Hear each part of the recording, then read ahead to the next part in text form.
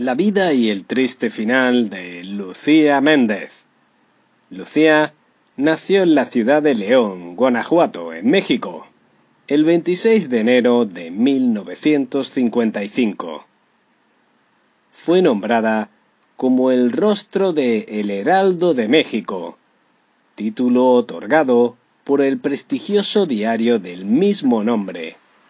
El referido nombramiento no se entrega desde el año 2002. El periódico de la Ciudad de México, en el año 1972. A partir de ese momento, y a raíz de su tesón, talento y gran esfuerzo, le surgieron propuestas para incursionar en el mundo de las telenovelas realiza su primera intervención en la pantalla chica al lado de Angélica María, en Muchacha Italia viene a casarse, de 1972. Su primer personaje importante en una telenovela fue en Paloma, junto con Andrés García y Ofelia Medina, en el año 1975. En este mismo año recibió el premio Calendario Azteca como revelación en la televisión, otorgado por la Asociación de Periodistas de Radio y Televisión de México. Gracias al papel anteriormente citado, obtuvo su primer rol de protagonista en la telenovela Mundos Opuestos, en el año 1977, con el papel de Cecilia. Su primer gran éxito a nivel internacional lo representa Viviana en 1978, al lado de Héctor Bonilla. Después vino la inolvidable Colorina de 1980, cuyo tema musical fue compuesto por el cantante y compositor español Camilo VI, quien desde ahí le produjo grandes éxitos de su autoría. Fue una telenovela de gran polémica para la sociedad de la época, y donde Lucía Méndez demuestra sus dotes histriónicas.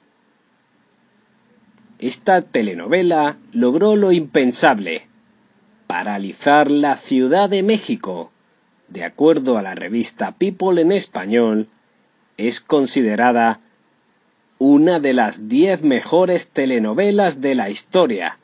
Incluso en el noticiero 24 horas de México, su titular, Jacobo Zabludovsky, preguntaba ¿Quién es el hijo de Colorina?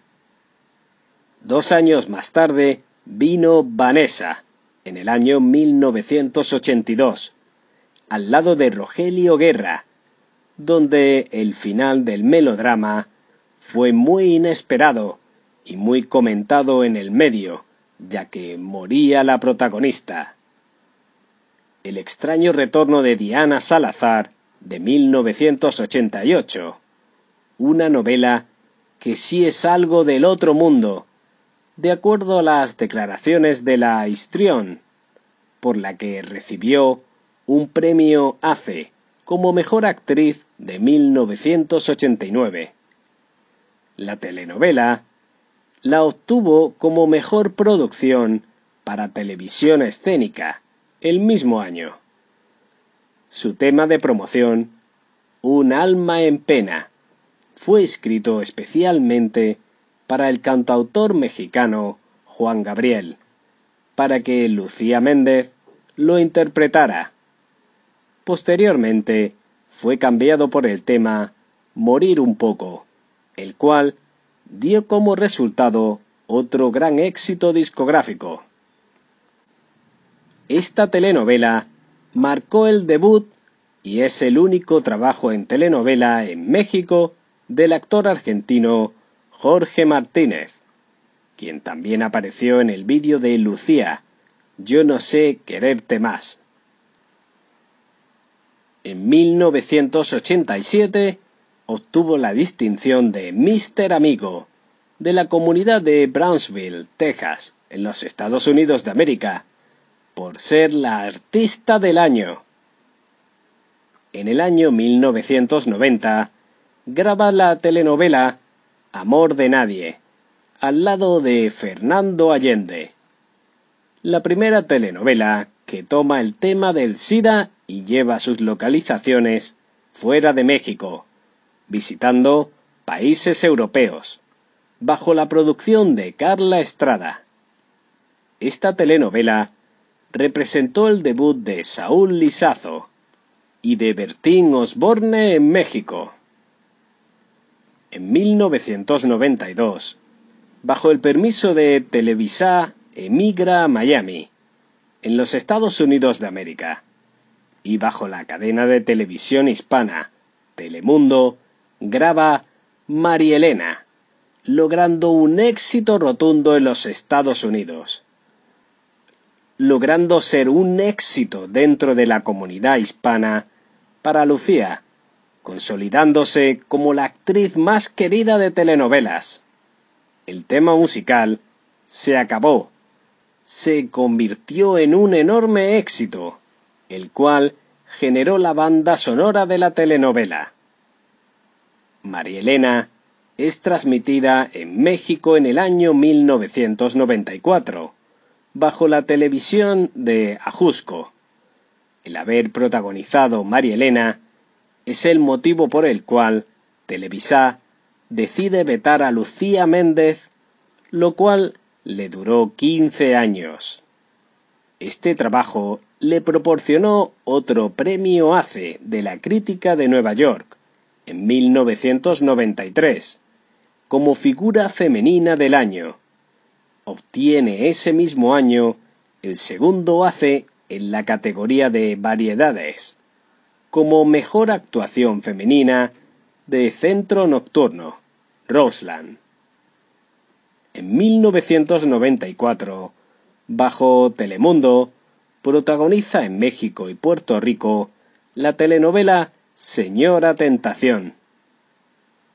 En 1996 bajo la gran sorpresa de todos, Lucía Méndez regresa a México firmando un contrato por cinco años con Televisión Azteca. En 1998 graba tres veces Sofía al lado de Omar Fierro. Su actuación le valió recibir nuevamente el premio ACE de la crítica de Nueva York en 1999 como figura internacional femenina del año. En el año 2000 realiza la telenovela Golpe Bajo, junto a Rogelio Guerra, Salvador Pineda, Margarita Isabel y Javier Gómez. Debido a sus éxitos, el Museo de Cera de Hollywood le otorgó en 1984 el privilegio de ser la primera artista hispana en contar con su estatua en dicho lugar. La comunidad hispana de Miami le otorgó su estrella en el Paseo de la Fama en la calle 8. Su natal Guanajuato, el León, le otorgó el reconocimiento Arlequín de Bronce. La Asociación de República Dominicana de cronistas de arte, Acroarte, le entregó en 2005 el premio Cassandra Internacional como reconocimiento a su carrera. Tuvo Nadie de 1985, al lado de Andrés García y Salvador Pineda, en donde se tocaban temas policíacos. Consolida a Lucía Méndez como una de las mejores actrices de la época recibe el premio como mejor actriz otorgado por la Asociación de Cronistas de Espectáculos de Nueva York, en Nueva York, por su trabajo en esta telenovela, y que también le dio gran reconocimiento mundial. Le dieron la oportunidad de ser nominada al Grammy americano en 1985 en la categoría de Best Latin Pop Performance. Recibe también en 1986 el premio ACE en la categoría de Televisión General por el programa de televisión especial del año titulado Especial de Lucía Méndez en Canal 41. En cuanto a su vida personal, estuvo casada dos veces. La primera con el productor Pedro Torres, con quien procreó a su único hijo, Pedro Antonio Torres Méndez. En el año 2004 contrajo matrimonio por segunda ocasión con Arturo Jordán, de nacionalidad cubano-estadounidense. Se casaron bajo religión cristiana y este matrimonio acabó en el año 2007. En 2003 le fue otorgada la nacionalidad estadounidense y tiene su residencia en Miami, donde vive con su familia. Muchas gracias por escuchar la historia de vida de Lucía Méndez.